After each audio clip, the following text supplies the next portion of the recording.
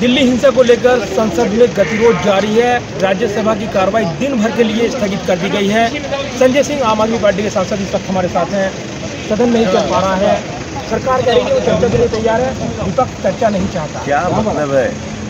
देश की राजधानी जल गई। ज़्यादा जानना हो, देखना हो तो जाके उन इलाकों का दौरा करके देख के आइए। अमित शाह जी तो रैली करने में व्यस्त हैं। पाँच कुंटल का माला पहन रहे हैं। यहाँ हालत क्या है? जाके देख के आइए। बयालीस से ज़्यादा लोगों की मौतें हो चुकी हैं। 200 से ज़्यादा लोग घायल हैं। दुकानें जल गई, मकान जल गए रेडी वालों की दुकानें जल गई। गरीब आदमी बर्बाद हो गया। आप सदन में चर्चा तक नहीं होने देना चाहते? जेपीसी नहीं बनाना चाहते? सुप्रीम कोर्ट मॉनिटर्ड एसआईटी नहीं होने देना चाहते? फास्ट ट्रैक कोर्ट की हमारी डिमांड है, उसको सुनने के लिए आप तैयार नहीं? तो इसका मतलब भारतीय जनता पार्टी ने दिल्ली में दंगे कराए। भारतीय जनता पार्टी इस दंगे के पीछे की सबसे बड़ी साजिश करता है। कातिल ही मुंसिफ है, वो कैसे जाँच कराएगा?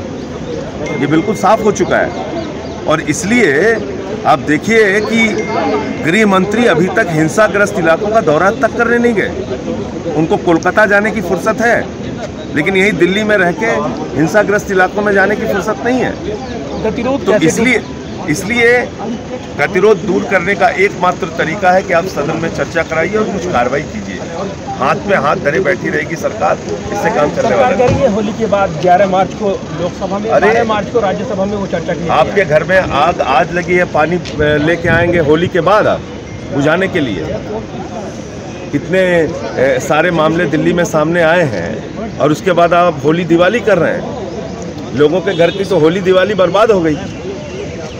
और तमाम आरोप लगा रहे हैं संजय सिंह सरकार चर्चा से भाग रही है चर्चा नहीं चाहती है।